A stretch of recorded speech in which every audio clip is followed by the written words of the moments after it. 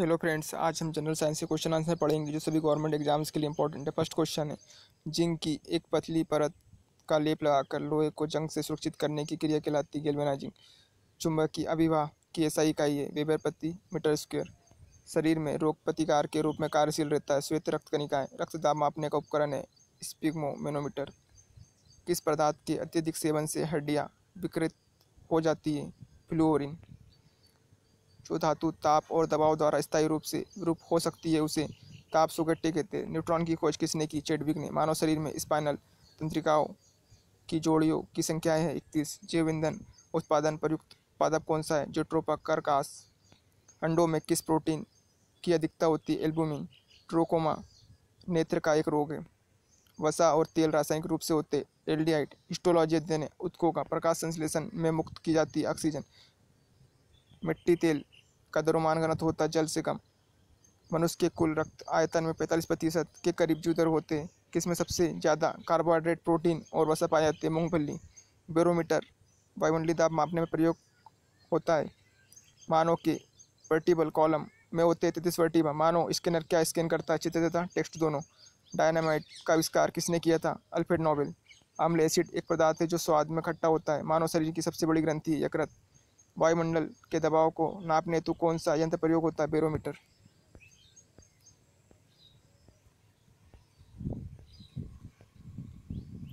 कूनेन किस पादप से प्राप्त की जाती है? सिंकोना।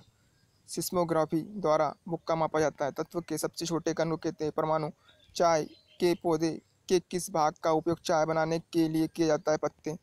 बॉक्साइट किसका इसके एल्यूमिनियम का यूरेनस ग्रह की खोज किसने की? विलियम हर्सल ने। विलियम हर्सल ने यूरेनस ग्रह की खोज की थी। प्रोटीन बनता है एम्यूनो अम्ल से। किसमें रक्त कोशिकाओं की उत्पत्ति होती है? अस्थि मज्जा। प्रकाश संश्लेषण की प्रक्रिया होती है पत्तों में। अनुवांशिक जनक किसे कहा जाता है? मेंडले को। कैल्शियम कार्बाइड पर जल गिराने से उत्पन्न होने वाली गैस है एसिटिलीन। हमारी आँख उत्तल लेंस के रूप में कार्य करती है। कौन अल्ट्रासोनिक परासव ध्वनि सुन सकता चमगादड़ गति का प्रथम समीकरण क्या है? V equal to u plus a t दही में क्या पाया जाता है? इलेक्ट्रिक एसिड एटासिड वे पदार्थ है जो उपयोग किए जाते अमाशय में उत्पन्न अतिरिक्त अम्ल के निष्प्रभावन के लिए। किस गैस का प्रतिशत पृथ्वी के वायुमंडल सबसे अधिक है? नाइट्रोजन। किस, किसे काला सोना कहा जाता है? पेट्रोलियम। डिग्री सेल्सियस में मानव शरीर का सामान्य तापमान क्या है? सैंतीस डिग्री सेल्सियस। बॉक्साइट एस से कौन सी धातु प्राप्त होती है? एल्युमिनियम। केवल नाइट्रोजन ही उर्वरक है। यूरिया। किसका स्वाद खट्टा होता है? अम्ल का। अम्लीय वर्षा क्या है? प्रदूषण के कारण अम्लीय जल की बरसात। पृथ्वी सतह के ऊपर ओजोन परत हमें सुरक्षित करती है पराबैंगनी किरणों से। विटामिन सी को स्कॉर्बिक एसिड भी कहते हैं।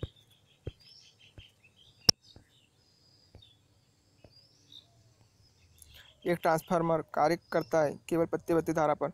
हृदय घात का एक कारण है, हृदय में रक्त आपूर्ति की कमी। वह कौन सा ग्रह है जो सूर्य की एक परिक्रमा पूरा करने में अट्ठाईस दिन लेता है बुध? मोमबत्ती का दिन, एक उष्माक्षेपीय अभिक्रिया है। एक रेफ्रिजरेटर में ठंडक किससे उत्पन्न होती है? संपीड़ित गैस के आकस्मिक फैलाव से। वायुमंडलीय आपेक्षिक आर्द्रता का मापन किस मापी यंत्र से किया जाता है? आर्द्रता मापी, कंप्यूटर नेटवर्किंग से जुड़ा लेन का पूर्ण रूप क्या है? लोकल एरिया नेटवर्क, पुरुष के बांधेकरण का ऑपरेशन कहलाता है। वासेक्टोमी, परिस्थिति की समुदाय का उत्कृष्ट उदाहरण, एक घास का मैदान। दंत और अस्थियों के बनने में किस विटामिन की आवश्यकता होती है? विटामिन डी मानव के मलेरिया परिजीवी जो एनोफिलीज में मिलते हैं का जीवन इतिवृत्त सर्वप्रथम व्याख्यात किया था, सर रोनाल्ड रॉस ने। अति सामान्य रूप से प्रयुक्त किया जाने वाला व्यंजक पदार्थ है क्लोरीन। दर सभी दिशाओं में बराबर मात्रा में दबाव प्रसारित करते यह कहलाता है पास्कल का नियम। एक अर्धचालक है सिलिकॉन, मिश्र धातु स्टील जिसमें जंक लगने के प्रतिरोधी के रूप में क्रोमियम होता है, कहलाता है stainless steel.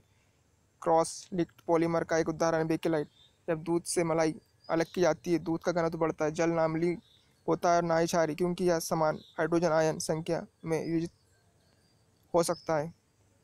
सुस्वाद, खाद्य पदार्थ देखकर मुँह में पानी आता है, यह तरल वास्तव में किन्वक है। रासायनिक अभिक्रिया की दर निर्भर नहीं करती है दबाव पर।